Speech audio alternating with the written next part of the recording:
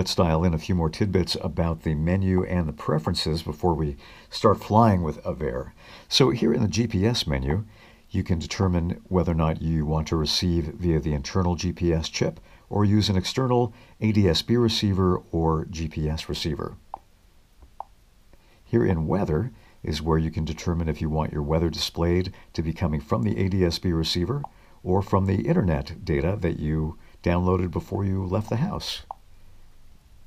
Here in instrumentation is where you can determine whether or not you want to have your distance rings uh, for quick determination of distance from a, an object or from a uh, airport. And the display, track up, north up, or track up. For me, it works best in my brain if I have the chart north up and then the uh, aircraft traversing accordingly. Just works better for me.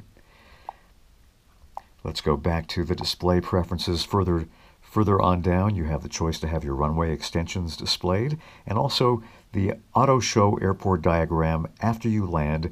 The display will automatically go to the taxiway diagram and your aircraft will display on top of the, of the taxiway diagram. Very handy.